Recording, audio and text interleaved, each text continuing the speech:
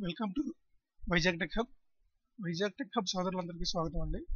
ఈ రోజు క్లాస్లో మనం ట్రాన్స్ఫార్మర్స్ తాలూకా ఇంపార్టెంట్ క్వశ్చన్స్ అనేవి చూద్దామండి ఒక twenty two twenty five questions అనేవి సెలెక్ట్ చేసాం అంటే ప్రీవియస్ ఎగ్జామ్స్లో కూడా మ్యాక్సిమం ఆ టాపిక్స్ మీద ఆ క్వశ్చన్స్ అనేవి అడగడం జరిగింది. సో ముందుగా మీరు ఈ క్వశ్చన్స్ చూసే ముందు ఆల్రెడీ మనం లాస్ట్ టైం కొన్ని వీడియోస్లోని ట్రాన్స్ఫార్మర్స్ మీద ఫుల్ ఫ్లెడ్జ్డ్గా చెప్పడం జరిగింది. అది మన ఛానల్ లోపల మన ఛానల్ లోపలికి వెళ్తే ప్లేలిస్ట్ ఉంటుందండి. ఆ ప్లేలిస్ట్లో మీరు చూసారంటే transformers part one part two part three అని మూడు వీడియోస్ ఉంటాయి. సో మీరు ఈ ఆబ్జెక్టివ్ క్వశ్చన్స్ చూసే ముందు కంపల్సరిగా ఆ మూడు వీడియోస్ చూడండి. చూస్తే మీరు ఈజీగా ఆన్సర్స్ అనేవి చేయగలుగుతారు. ఎందుకంటే ఇక్కడ మనం ఏవైతే క్వశ్చన్స్ డిస్కస్ చేసామో వాటి తాలూకా థీరీ మొత్తం అక్కడ డిస్కస్ చేయడం జరిగిందండి. సో తప్పనిసరిగా మీరు ఆ వీడియోస్ మూడు చూసిన తర్వాత చూస్తే కొద్దిగా మీరు ఈజీగా చేయగలుగుతారు. ఇంకా ఎవరైనా మన ఛానల్ సబ్స్క్రైబ్ చేసుకోకపోతే దయచేసి సబ్స్క్రైబ్ చేసుకోండి. నెక్స్ట్ బెల్ ఐకాన్ మీద క్లిక్ చేస్తే మా వీడియోస్ నోటిఫికేషన్ రూపంలో మీకు వస్తూ ఉంటాయి. సో మీరు సబ్స్క్రైబ్ చేసినప్పుడు ఈ సబ్స్క్రైబ్ ఛానల్ చేసిన తర్వాత ఈ వైజాగ్ టెక్ హబ్ అని ఉంది కదండి ఇక్కడ. దాని మీద క్లిక్ చేస్తే డైరెక్ట్గా మన ఛానల్కి వెళ్ళిపోతారండి. సో మన ఛానల్లో హోము వీడియోస్ ప్లేలిస్ట్ ఉంటుంది సో మీరు ఇక్కడ ప్లేలిస్ట్లోకి వెళ్ళారంటే డైరెక్ట్గా ప్లేలిస్ట్లో electrical videos next general knowledge videos అలాగే యాప్టిట్యూడ్ వీడియోస్ అని ప్లేలిస్ట్ ఉంటుంది. సో మీరు అందులోకి వెళ్ళిన తర్వాత డైరెక్ట్గా ఎలక్ట్రికల్ వీడియోస్ ఓపెన్ చేస్తే మీకు అందులో ట్రాన్స్ఫార్మర్స్ తాలూకా part one part two part three మూడు వీడియోస్ ఉంటాయండి. ఆ మూడు కూడా కంపల్సరీగా చూడండి. చూస్తే ఆల్మోస్ట్ మీకు థిరటికల్గా మీరు కొద్దిగా నాలెడ్జ్ అనేది గెయిన్ అవుతారనమాట సో ఫస్ట్ క్వశ్చన్ చూద్దామండి. చూడండి ఇక్కడ. The basic function of a transformer is to change transformer function ఏంటండి? బేసిక్గా ట్రాన్స్ఫార్మర్ ఏది చేంజ్ చేస్తుంది?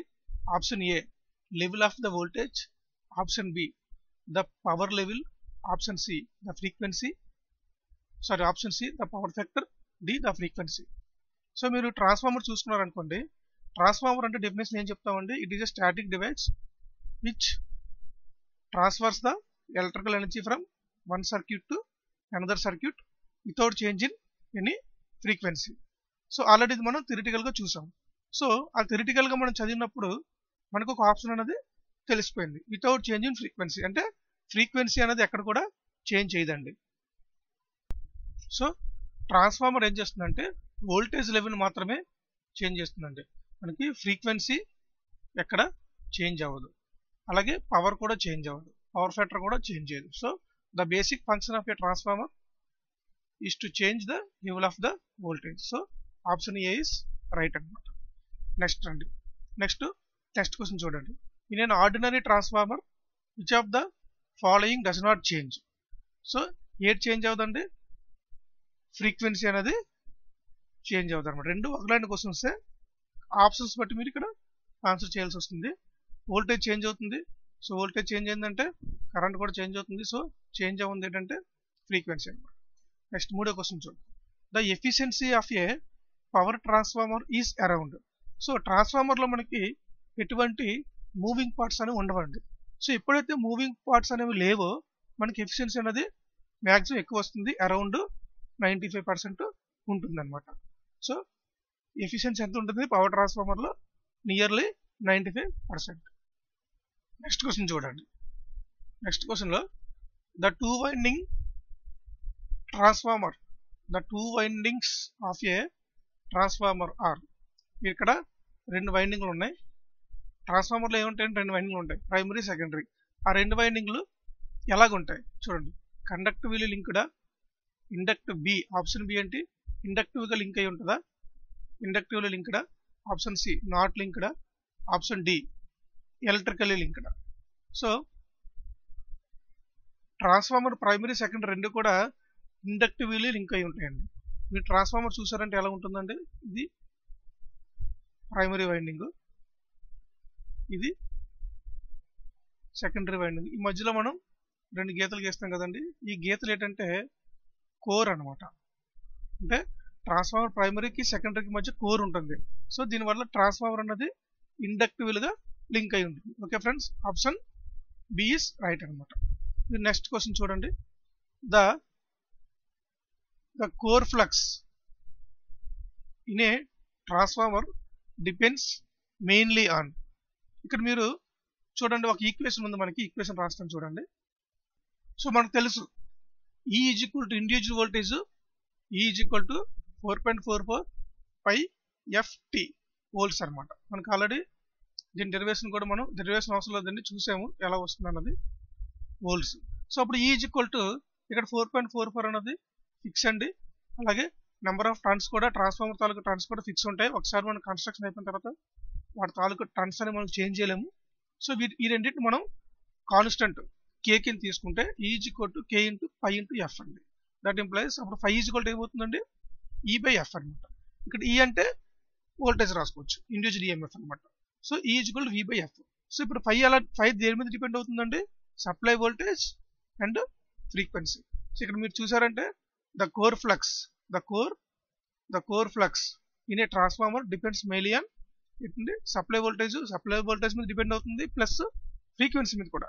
So option B supply voltage and frequency is right answer అనమాట ఓకే ఫ్రెండ్స్ ఆన్సర్ ఎలాగ వచ్చిందంటే ఇది డెరివేషన్ అనమాట ఓకే నెక్స్ట్ క్వశ్చన్ చూడండి. నెక్స్ట్ క్వశ్చన్లో ఇక్కడ ఏముందండి? Transformer action transformer action requires అంటే ట్రాన్స్ఫార్మర్లోని ప్రైమరీ నుంచి సెకండరీకి ఎనర్జీ ట్రాన్స్ఫర్ అవుతుంది చూసారా? ఆ యాక్షన్ అవ్వాలంటే ఏం జరగాలి? ఆల్రెడీ మనం లాస్ట్ టైం డీసీ క్లాస్లో చెప్పుకున్నాం అండి డీసీ మిషన్ చెప్పినప్పుడు మనం డిస్కస్ చేస్తాం సో ఈఎంఎఫ్ అనేది ఇండ్యూస్ అవ్వాలంటే ఏం చేయాలండి? మనకి ఏమేమి ఉండాలి ఒక కండక్టర్ ఉండాలి ప్లస్ ఫ్లక్స్ ఉండాలి ప్లస్ రెండింటి మధ్య రిలేటివ్ మోషన్ అనేది ఉండాలి. ఇన్ కేసు కండక్టర్ అనేది కాన్స్టెంట్గా ఉందనుకోండి కండక్టర్ అనేది కండక్టర్ ఉంది కండక్టర్ ఉండాలి ఫ్లక్స్ ఉండాలి రిలేటివ్ మోషన్ ఉండాలి. సో ఇక్కడ ఫర్ ఎగ్జాంపుల్ కండక్టర్ అన్నది ఫిక్స్గా ఉందండి ఫిక్స్ అంటే మూమెంట్లో లేదు. మూమెంట్లో లేదనుకోండి ఫిక్స్గా ఉంది అనుకుందాం కండక్టర్ సో కండక్టర్ ఫిక్స్గా ఉంది. ఎఫ్ కాన్స్టెంట్గా ఉందనుకుందాం. ఇక్కడ ఫ్లక్స్ అనేది కండక్టర్ ఎప్పుడైతే కాన్స్టెంట్గా ఉందో ఫ్లక్స్ కంపల్సరిగా రొటేషన్లో ఉండాలి. రొటేషన్లో ఉంటేనే మనకి రిలేటివ్ మోషన్ వస్తుంది. కండక్టర్ రొటేషన్లో ఉండి ఫ్లక్స్ రొటేషన్లో ఉంటే మనకి రిలేటివ్ మోషన్ అనేది ఉండదు అనమాట సో ఇక్కడ మీరు ట్రాన్స్ఫార్మర్ దగ్గర చూసుకున్నారు అనుకోండి ట్రాన్స్ఫార్మర్లో మనకి మీరు చూసారంటే మనకి ఎక్కడ కూడా రొటేషన్ పార్ట్ అనేది ఉండదు. సో ఇక్కడ కండక్టర్ అన్నది ఫిక్స్ కండక్టర్ ఫిక్స్ అయినప్పుడు ఏం చే ఏమవ్వాలండి? ఫ్లక్స్ అన్నది రొటేషన్ అవ్వాలి. సో రొటేషన్ అవ్వాలంటే కంపల్సరీగా మనం ఆల్టర్నేటింగ్ మ్యాగ్నెటిక్ ఫ్లక్స్ అనేది సప్లై చేయాలి. So transformer action requires answer ఏంటంటే సి. ఆల్టర్నేటింగ్ మ్యాగ్నెటిక్ ఫ్లక్స్ అనమాట అదేంటి? అదే డీసీ మిషన్ మీరు తీసుకున్నారు అనుకోండి డీసీ మిషన్లో మనం చూసారంటే ఫ్లక్స్ అనేది కాన్స్టెంట్గా ఉంటుంది. అయితే అక్కడ కండక్టర్ అనేది రొటేషన్లో ఉంటుంది. సో ఫ్లక్స్ కాన్స్టెంట్గా ఉంటే కండక్టర్ రొటేషన్లో ఉంటుంది ఇన్కేస్ కండక్టర్ కాన్స్టెంట్గా ఉంటే ఫ్లక్స్ రొటేషన్లో ఉంటుంది ఈ కండిషన్ సాటిస్ఫై అయితేనే మనకి అక్కడ యాక్షన్ అనేది జరుగుతుంది అనమాట సో నెక్స్ట్ నెక్స్ట్ క్వశ్చన్ చూడండి. If rated DC voltage is applied instead of AC to the primary of a transformer so మనం మనం డిస్కస్ చేసామండి self induced of is equal to minus N into d phi by d t is to is to minus N into d phi by d t so ఇక్కడ మీరు చూసారంటే DC apply చేస్తే ఏమవుతుందండి? D phi by d t అంటే rate of change of flux అనేది ఉండదు. ఇది zero అయిపోతుంది. అంటే ఈజ్ ఈక్వల్ టు జీరో. అంటే ఏమైపోతుందండి మనకి? షార్ట్ సర్క్యూట్ అయిపోతుంది. సో షార్ట్ సర్క్యూట్ అయితే ఏమవుతుందండి? ఇక ఎప్పుడైతే షార్ట్ సర్క్యూట్ అయ్యిందో ఆప్షన్ ఏ చూడండి. Secondary of transformer will burn అలాగే option B primary of transformer will burn option C secondary voltage will be ఎక్సెస్ఫుల్ excessively high option D there will be no secondary voltage చూడండి మనం supply ఎప్పుడు primary side ఇస్తాం. So secondary side concept వదిలేయండి. అంటే option A option C అనేది మనం వదిలేయచ్చు. అది రాంగ్ ఆన్సర్స్ సో ఆప్షన్ డిలో కూడా సెకండరీ గురించి మాట్లాడాడు సో మూడు మనం వదిలేయచ్చు. మిగిలింది ఏంటంటే primary of transformer will burn so option B is right answer అన్నమాట. నెక్స్ట్ క్వశ్చన్ చూడండి. An ideal transformer does not change so transformer ఏది చేంజ్ చేయదండి? పవర్ని చేంజ్ చేయదు. ఫ్రీక్వెన్సీ కూడా చేంజ్ చేయదు. కానీ ఇక్కడ ఆప్షన్లో ఓన్లీ పవర్ ఉందన్నమాట. Next question the power factor of a power transformer and no load so no లోడ్లోని power factor అనేది చాలా తక్కువ ఉంటుందండి. ఎందుకంటే మ్యాక్సిమం అంతా మ్యాగ్నెటిక్ సర్క్యూట్ ఉంటుంది కాబట్టి పవర్ ఫ్యాక్టర్ అనేది చాలా తక్కువ ఉంటుంది. అది అరౌండ్ పాయింట్ త్రీ ఫైవ్ అండి okay the flux in transformer core so ట్రాన్స్ఫార్మర్లోని మనం ఆల్రెడీ డిస్కస్ చేసామండి ట్రాన్స్ఫార్మర్ చదివినప్పుడు ట్రాన్స్ఫార్మర్ ఈజ్ ఏ ఏమనుకున్నాం ఏం చేసుకున్నాం అండి? కాన్స్టెంట్ ఫ్లక్స్ డివైజ్ అనమాట అది ఎందుకన్నది మీకు మనం చెప్ప మనం ఆల్రెడీ మీకు స్టార్టింగ్లో చెప్పాను ప్లేలిస్ట్లో చూడండి అని. ఆ మూడు వీడియోస్ చూడండి మీకు ఎందుకన్నది మీకు క్లారిటీ వస్తుంది. So transformer is a constant flux device అండి. So the flux in a transformer core అనేది ఏంటంటే remains constant irrespective of the load అనమాట అంటే లోడ్ మారినా కానీ ఫ్లక్స్ అన్నది చేంజ్ అవ్వదు. Okay friends next question the primary ampere turns are counter balanced by ట్రాన్స్ఫార్మర్లో primary ampere turns secondary ampere టర్న్స్తో counter balance అవుతుందండి. So option A is right answer next the losses in a transformer are ట్రాన్స్ఫార్మర్లో మనకి losses ఉంటాయండి. Three types of losses ఉంటాయి. ఒకటి copper loss రెండు eddy current loss మూడు hysteresis loss. చూడండి. So ఇక్కడ క్వశ్చన్ ఏం అడిగారు? The constant power loss of a transformer is given by ట్రాన్స్ఫార్మర్లో కాన్స్టెంట్ లాస్ ఏంటండి eddy current loss hysteresis loss ఈ రెండింటిని మనం మ్యాగ్నెటిక్ లాసెస్ అని కూడా అంటాం. So option two and three two and three is right answer so option C is right answer next question చూడండి.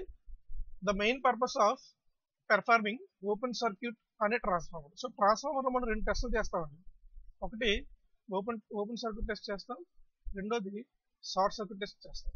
Open circuit test ఎందుకు చేస్తామంటే కోర్ లాసెస్ ఫైండ్ అవుట్ చేయడానికి చేస్తాం.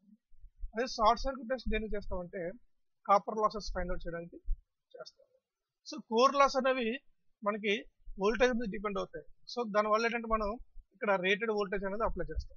అలాగే కాపర్ లాస్ వచ్చేసరికి అలాగే షార్ట్ సర్క్యూట్ టెస్ట్ చేసి మనం కాపర్ లాస్ అనేది ఫైండ్ చేస్తాం. సో కాపర్ లాస్ అంటే ఏంటండి? ఐ స్క్వేర్ లాసెస్ సో ఇక్కడ మనం మ్యాక్సిమం అంటే లోడ్ దాన్ని ఫుల్ లోడ్ కరెంట్ ట్రాన్స్ఫార్మర్ తాలూకా కరెంట్ ఫుల్ లోడ్ కరెంట్ ఎంత ఉంటుందో అంత అది ఎంత ఎంత కరెంట్ అయితే క్యారీ చేయగలదో అంత కరెంట్ అప్లై చేస్తాం. సో ఇక్కడ మీరు చూడండి ఓపెన్ సర్క్యూట్ టెస్ట్ చేసినప్పుడు ఏం చేస్తున్నామండి?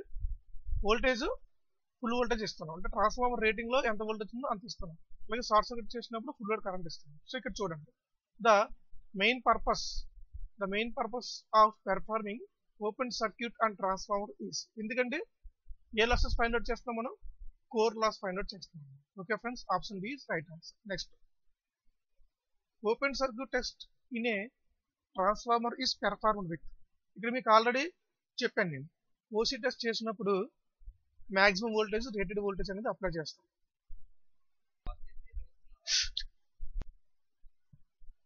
చూడండి open circuit టెస్ట్ని transformer is performed with so options చూడండి. ఫస్ట్ ఆప్షన్ ఏంటి? రేటెడ్ ట్రాన్స్ఫార్మర్ వోల్టేజ్ సెకండ్ది రేటెడ్ ట్రాన్స్ఫార్మర్ కరెంట్ మూడోది డైరెక్ట్ కరెంట్ నాలుగోది హై హై ఫ్రీక్వెన్సీ సప్లై ఈ రెండు వదిలేయండి. ఈ రెండు కూడా మన స్కోప్లో లేండి. సో ఫస్ట్ మీకు ఆల్రెడీ చెప్పాను ఇక్కడ. ఓపెన్ సర్క్యూట్ టెస్ట్ చేసినప్పుడు కోర్లెస్ ఫైండ్ అవుట్ చేస్తాము. రేటెడ్ వోల్టేజ్ అనేది అప్లై చేస్తాం. అలాగే షార్ట్ సర్క్యూట్ టెస్ట్ చేసినప్పుడు కాపర్ లాస్ ఫైండ్ అవుట్ చేస్తాము రేటెడ్ కరెంట్ అప్లై చేస్తాం సో ఇక్కడ క్వశ్చన్లు ఏంటి అడిగారండి? Open circuit test open circuit test అంటే ఏంటి? Option A is right answer అనమాట okay friends next the open circuit test అనే transformer gives so open circuit test చేసినప్పుడు ఆల్రెడీ చూడండి ఇక్కడ మనకి ఇక్కడ డిస్కస్ చేసాం. సో ఇక్కడ మీరు చూసారంటే ఓపెన్ సర్క్యూట్ టెస్ట్ చేసినప్పుడు ఏమవుతుందంటే మనకి ఈక్వలెంట్ రెసిస్టెన్స్ అదే leakage resistance and leakage reactance వస్తుంది అదే షార్ట్ సర్క్యూట్ టెస్ట్ చేసినప్పుడు ఏంటంటే సర్క్యూట్ తాలూకు రెసిస్టెన్స్ అండ్ ప్రైమరీ తాలూకు రెసిస్టెన్స్ రియాక్టెన్స్ వస్తుంది. అది ప్రైమరీ సైడ్ ఉంటే R zero one X zero one secondary side ఉంటే R zero two X zero two అనేది ఫైండ్ అవుట్ చేస్తూ ఉంటాం. సో ఇక్కడ మీరు చూసారంటే క్వశ్చన్లోని open circuit test and transformer gives. ఏంటంటే ఈక్వలెంట్ ఇక్కడ మనకి రెసిస్టెన్స్ గురించి రియాక్టెన్స్ గురించి ఇవ్వలేదండి. ఇది రెండు no load. No load resistance no load reactance గురించి ఇవ్వలేదు. సో ఆప్షన్స్ జాగ్రత్తగా చదవండి. Equivalent resistance and leakage reactance అంటే ఇది. ఇది ఎస్సీ టెస్ట్లో వస్తుంది మనకి. Option B magnetising current and core losses at rated voltage so మనకు తెలుసు ఆల్రెడీ కోర్ లాస్ అనేది వస్తుందని మనకు తెలుసు. ఎట్ రేటెడ్ వోల్టేజ్ దగ్గర. నెక్స్ట్ మ్యాగ్నటైజింగ్ కరెంట్ అంటే I not I not I not కూడా ఈ రెండు వస్తాయండి. I not and magnetising current రెండో వస్తాయి. So option B is right answer అలాగే ఈక్వలెంట్ రెసిస్టెన్స్ రియాక్టెన్స్ అంటే ఇవి no load reactance no load resistance ఈ రెండు కూడా ఏంటంటే ఇది మ్యాగ్నటైజింగ్కి సంబంధించిందండి. ఇదేమో కోర్ లాసెస్ కోర్ లాసెస్కి సంబంధించింది ఇది అనమాట ఓకే ఫ్రెండ్స్ ఒక ఆప్షన్లో ఇది అడుగుతాడు ఇది ఇది అడుగుతాడు మనకు తెలియదు మీరు క్వశ్చన్ బట్టి క్లియర్గా చదవాలి. నెక్స్ట్ క్వశ్చన్ చూద్దామండి. While performing the open circuit and short circuit test on a transformer to determine parameters the status of the low voltage LV and high voltage HV winding will be such that ఇక్కడ ఈ question మీకు చాలాసార్లు ఇచ్చాడు ఎగ్జామ్లో ఎలాగిస్తాడంటే ఈ క్వశ్చన్ని ఈ question నుంచి ఒక నాలుగు క్వశ్చన్స్ మనం ఫ్రేమ్ చేయొచ్చు అనమాట ఇక్కడ ఏంటంటే open circuit test short circuit test చేసినప్పుడు ఎల్వి వోల్టేజ్ ఏం చేస్తాం హెచ్వి వోల్టేజ్ ఏం చేస్తాం అనేది క్వశ్చన్ అండి. సో మీరు ట్రాన్స్ఫార్మర్ చూసుకున్నారంటే ఇది ఒక వైండింగ్ ఇది ఒక వైండింగ్ ఫర్ ఎగ్జాంపుల్ ఇది ప్రైమరీ సైడ్ సెకండరీ సైడ్ అనుకుందాం. ప్రైమరీ సైడ్ సెకండరీ సైడ్ అనే కన్నా ట్రాన్స్ఫార్మర్ని ఇప్పుడు కూడా మనం ఎల్వి హెచ్వి అని కానీ హెచ్వి ఎల్వి అని కానీ చెప్పాలండి. ఎందుకంటే ఏది ప్రైమరీ ఏది సెకండరీ అని మనం చెప్పలేము సో ట్రాన్స్ఫార్మర్లో ఫిక్స్డ్గా ఉండేది ఏంటంటే ఎల్వి హెచ్వి అనమాట సో ఇప్పుడు మనం ఓపెన్ సర్క్యూట్ టెస్ట్ చేసినప్పుడు ఏం చేస్తున్నామండి? ట్రాన్స్ఫార్మర్లోని మనం ఓసీ టెస్ట్ చేసినప్పుడు హెచ్వి సైడ్ ఓపెన్ చేస్తున్నాం. హెచ్వి సైడ్ ఓపెన్ చేసి ఎల్వి సైడ్ సప్లై ఇస్తున్నాం. ఇచ్చి రీడింగ్స్ తీసుకుంటున్నాం. అలాగే షార్ట్ సర్క్యూట్ టెస్ట్ చేసినప్పుడు ఏం చేస్తున్నామండి? ఎల్వి సైడ్ షార్ట్ చేస్తున్నాం. హెచ్వి సైడ్ సప్లై ఇస్తున్నాం. సో ఇదే క్వశ్చన్ అడిగారండి. క్వశ్చన్ చూడండి. కన్ఫ్యూజ్ అవ్వద్దు. సో ఆప్షన్ ఏ చూడండి. In OC in OC test LV is open and in SC test HV short కాదు కదండి? ఏం చేస్తున్నాం? ఓపెన్ సర్క్యూట్ టెస్ట్ చేసినప్పుడు హెచ్పి ఓపెన్ చేస్తున్నాం. ఎల్వి సప్లై ఇస్తున్నాం. అలాగే షార్ట్ సర్క్యూట్ టెస్ట్ చేసినప్పుడు ఎల్వి షార్ట్ చేస్తున్నాం. హెచ్వి దానికి సప్లై ఇస్తున్నాం. So option A is wrong answer option B చూడండి. In OC HV is open in SC LV is short so ఇక్కడ మీరు option B is right answer అనమాట so ఎందుకు అలా చేస్తున్నామో చూద్దామండి. సో ఓపెన్ సర్క్యూట్ టెస్ట్ చేసినప్పుడు మనం ఏం చేస్తున్నామండి? హెచ్వి అనేది ఓపెన్ చేస్తున్నాం. ఎల్వి అనేది సప్లై ఇస్తున్నాం. సో హెచ్వి ఎప్పుడైతే ఓపెన్ చేసామో ఎల్వి సైడ్ మనం లో వోల్టేజ్ సైడ్ మనం సప్లై ఈజీగా ఇవ్వచ్చు. సప్లై కూడా అవైలబుల్లో ఉంటుందండి. నెక్స్ట్ ఇంకోటి ఏంటంటే మనం ఓపెన్ సర్క్యూట్ టెస్ట్ చేసినప్పుడు మనం మ్యాగ్నటైజింగ్ కరెంట్ ఫైండ్ అవుట్ చేయాలి. అది no load current so no load current అనేది కరెంట్ ఎక్కువ ఎందులో ఫ్లో అవుతుందండి? ఎల్వీలోనే ఎక్కువ కరెంట్ ఫ్లో అవుతుంది. Compare to HV HV winding కన్నా ఎల్వి వైండింగ్లో ఎక్కువ కరెంట్ అనేది ఫ్లో అవుతూ ఉంటుంది. సో ఎప్పుడైతే మనం LV side no no load no load test చేసినప్పుడు ఎల్వికి సప్లై ఇచ్చామో ఇది మ్యాక్సిమం కరెంట్ అనేది డ్రా చేసుకుంటుంది. సో ఆ మ్యాక్సిమం కరెంట్ డ్రా చేయడం వల్ల మనకి ట్రాన్స్ఫార్మర్లో కోర్ లాస్ ఎంత ఉన్నదో ఈజీగా ఫైండ్ అవుట్ చేయొచ్చు. Next coming to SC test SC test చేసినప్పుడు ఎల్వి సైడ్ ఎక్కువ కరెంట్ ఫ్లో అవుతుందండి. సో మనం మీటరింగ్ గట్టా సప్లై చేయాలంటే చాలా కష్టం. మనకి ఏంటంటే రేటెడ్ కరెంట్ ఫ్లో అయితే చాలు. సో దానివల్ల ఏంటంటే ఎల్విని షార్ట్ చేసి హెచ్పీ సైడ్ ఎప్పుడైతే సప్లై ఇచ్చామో హెచ్పీలో లో కరెంట్ అనేది ఫ్లో అవుతుంది సో ఆ లో కరెంట్ కూడా మనం మీటరింగ్లో మనం ఈజీగా మెజర్ చేయొచ్చు. ఆ కరెంట్ ఎంతవరకు ఎజిస్ట్ చేస్తామండి? ట్రాన్స్ఫార్మర్ ఎంత అయితే కరెంట్ రేటింగ్ ప్రకారం ఎంత కరెంట్ తీసుకుంటుందో అంత కరెంట్ మనం ఇస్తామన్నమాట. ఇచ్చి షార్ట్ సర్క్యూట్ టెస్ట్ అనేది చేస్తాం. షార్ట్ సర్క్యూట్ టెస్ట్ చేసినప్పుడు మీటర్స్ అన్ని హెచ్వి సైడ్ కనెక్ట్ చేస్తాం. అలాగే ఓపెన్ సర్క్యూట్ టెస్ట్ చేసినప్పుడు మీటర్స్ అన్ని ఎల్వి సైడ్ అనేది మనం కనెక్ట్ చేస్తాం. సో ఇక్కడ ఆప్షన్ ఏంటంటే ఇన్ ఓసీ టెస్ట్ ఏంటంటే హెచ్వి ఓపెన్ చేస్తాం. ఎస్సీ టెస్ట్లో ఎల్వి అనేది స్టార్ట్ చేస్తాం. ఇది చాలా ఇంపార్టెంట్ అండి. క్వశ్చన్ ఎలా అడగొచ్చు అంటే ఓపెన్ సర్క్యూట్ టెస్ట్ ఇటువైపు చేస్తారు. Short circuit short circuit test ఇటువైపు చేస్తారు. అలాగా మిమ్మల్ని కన్ఫ్యూజ్ చేసి అడగొచ్చు. కన్ఫ్యూజ్ అవ్వద్దు. Okay friends? Next question. Next question చూడండి. Transformer will operate at maximum efficiency transformer maximum efficiency ఎప్పుడు వస్తుందండి? Hysteresis loss is equal eddy current loss కాదు. Eddy current losses is equal to copper లాసెసా కాదు. Copper loss is equal to iron loss అన్నమాట. So దీన్ని మనం variable loss is equal to iron loss అని కూడా అనొచ్చు. So option C is right answer next question చూడండి. Next question cores of large power transformer are made from which one of the following transformer మనం discuss చేసుకున్నాం. Hot rolled steel కాదు. Cold rolled non grain oriented కాదు.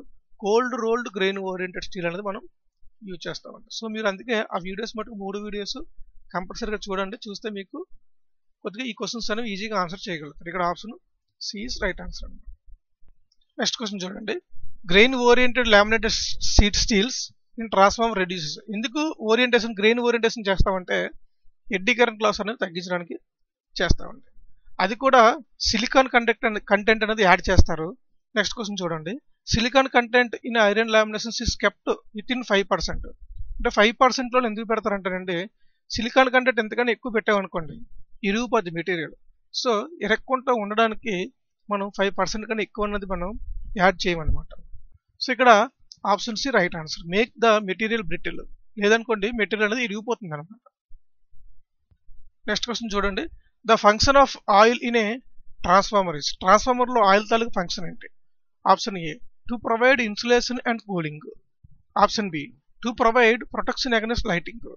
Option C. To provide protection against short circuit option D. To provide lubrication so ట్రాన్స్ఫార్మర్లో oil తోలు function ఏంటంటే to provide insulation and cooling cooling insulation provide చేయడం కన్నా so option A is right answer next question చూడండి.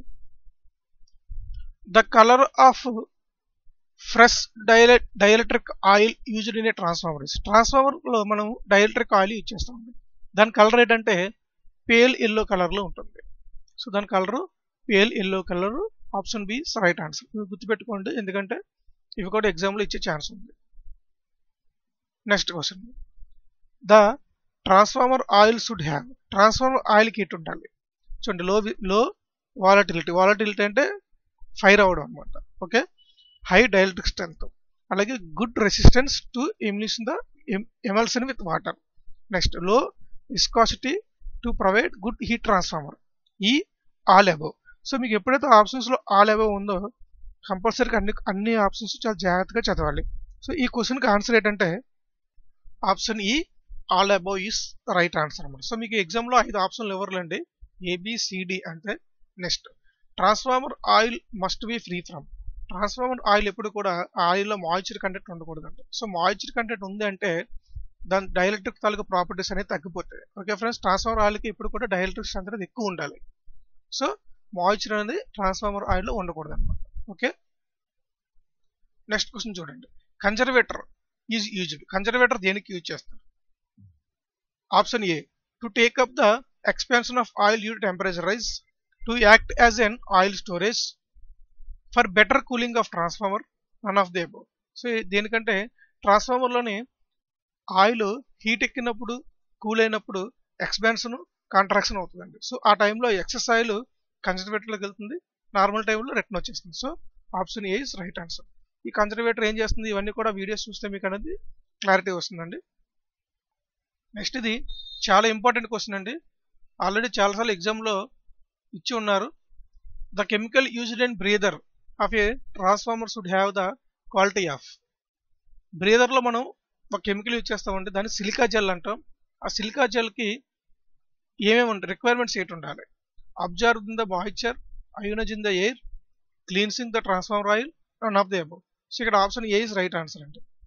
ఏంటంటే బ్రేదర్ ఏం చేస్తుంది అంటే ట్రాన్స్ఫార్మర్లో ఆయిల్ ఎక్స్పాన్షన్ అయినప్పుడు లోపల ఉన్న ఎయిర్ బయటకు వస్తుంది. అలాగే ఆయిల్ కాంట్రాక్షన్ అయినప్పుడు బయట ఉన్న ఎయిర్ లోపలికి వెళ్ళిపోతుందండి. సో ఎప్పుడైతే బయట ఉన్న ఎయిర్ లోపలికి వెళ్తుందో ఆ ఎయిర్లో మాయిశ్చర్ అనేది కంపల్సరీగా ఉంటుంది. ఆ ఎయిర్ని ఏం చేస్తుంది? ఆ ఎయిర్లోని ఉన్న మాయిశ్చర్ని ఈ బ్రే ఈ కెమికల్ రేదర్లో ఉన్న కెమికల్ సిలికాచెల్ ఏదైతే ఉందో అది అబ్జర్వ్ చేసుకుంటుంది. So option A is right answer అనమాట నెక్స్ట్ క్వశ్చన్ చూడండి. ఈ బుక్వెల్స్ రిలే ఈజ్ యూజ్డ్ బుక్ బుక్వెల్స్ రిలే దేనికి యూజ్ చేస్తారంటారండి? ఇది చాలా ఇంపార్టెంట్ క్వశ్చన్ చాలాసార్లు అడిగారండి. Protection of a transformer against all internal faults so option A and answer next options చూద్దాము. Protection of transformer against external faults కాదు. Protection of a transformer against both internal external కాదు. Protection of induction motor అసలు induction motor అనే టర్మే మనకు సంబంధం లేదు. So option A is right answer అనమాట ఓకే ఫ్రెండ్స్ ఈ రెండు క్వశ్చన్స్ కూడా చాలా ఇంపార్టెంట్ అండి. వీలైతే మీరు ఈ క్వశ్చన్స్ దగ్గర రాసుకుంటే బెటర్. ఎగ్జామ్కి వెళ్ళే ముందు ఒకసారి త్వరగా చూసుకుని వెళ్ళిపోవచ్చు. నెక్స్ట్ క్వశ్చన్ చూడండి ఇది కూడా సిలికాజల్ గురించే. In a power transformer the breather provided in order to breather దేనికంటే బ్రీదర్ చూడండి option A. Filter transformer oil option B prevent ingress of moisture with air option C provide oxygen to the cooling oil provide fresh air for increase in the cooling effect ఇక్కడ option B చూడండి prevent ingress of moisture with air option B right మనకి moisture మాయి ఎయిర్లో ఉన్న మాయిశ్చర్ని prevent చేస్తారు next అలాగే మీరు silica gel చూసుకున్నారంటే అది నార్మల్గా ఉందనుకోండి. అంటే ఫ్రెష్ సిలికా జెల్ మీరు చూస్తే దాని కలర్ ఎలా ఉంటుందంటే బ్లూ కలర్లో ఉంటుంది అది సిలికా జెల్ మాయిశ్చర్ని అబ్జర్వ్ చేసి చేసి దాని తాలూకా ప్రాపర్టీస్ అని లూజ్ అయిపోతుంది లూజ్ అయిపోయిన తర్వాత కలర్ ఎలా ఉంటుందంటే ఇంచుమించుగా పేల్ పింక్ కలర్లోకి మారిపోతుంది. సో ఇది కూడా ఎగ్జామ్లో క్వశ్చన్ అడగచ్చు. సో నెక్స్ట్ క్వశ్చన్ చూడండి. Which part of transformer is subjected to maximum heating so ట్రాన్స్ఫార్మర్లో మ్యాక్సిమం హీటింగ్ ఏది తీసుకుంటుందంటే ఫ్రేమా కూర వైండింగ్ ఆయిల్ ఇక్కడ చూడండి వైండింగ్కి ఆయిల్కి కొంచెం కన్ఫ్యూజన్ ఉండొచ్చు. సో ట్రాన్స్ఫార్మర్లో మెయిన్ హీట్ ఎక్కడ వస్తుంది ఫస్ట్ వైండింగ్లో వచ్చి వైండింగ్లో ఉన్న హీట్ని ఆయిల్ అనేది అబ్జర్వ్ చేసి కూలింగ్ చేస్తుంది సో మనకి ఇక్కడ మీరు చూసుకున్నారంటే హీట్ అనేది వైండింగ్ నుంచి ఆయిల్కి ట్రాన్స్ఫర్ అవుతుంది. So option C is right answer so ఇక్కడతో ట్రాన్స్ఫార్మర్లో ఉన్న ఇంపార్టెంట్ ఆబ్జెక్టివ్ క్వశ్చన్స్ అయిపోయినాయండి. అంటే మ్యాక్సిమం ప్రీవియస్ పేపర్స్లో ఏవైతే ఎగ్జామ్స్ ఎగ్జామ్లో క్వశ్చన్స్ అడిగాడో అవే మనం డిస్కస్ చేసాం ఇన్ కేసు మీకు ఏమైనా డౌట్లు ఉంటే మీరు మా కింద కామెంట్లో మీ క్వశ్చన్స్ మీరు పోస్ట్ చేస్తే మేము దానికి ఆన్సర్ చేసి చూపిస్తాం. ఇంకెవరైనా ఇంకెవరైనా మా ఛానల్ సబ్స్క్రైబ్ చేసుకోకపోతే దయచేసి మా ఛానల్ సబ్స్క్రైబ్ చేసుకోండి. ఎందుకంటే మేము ఏ వీడియోని అప్లోడ్ చేస్తే మీకు నోటిఫికేషన్ రూపంలో వస్తుంది.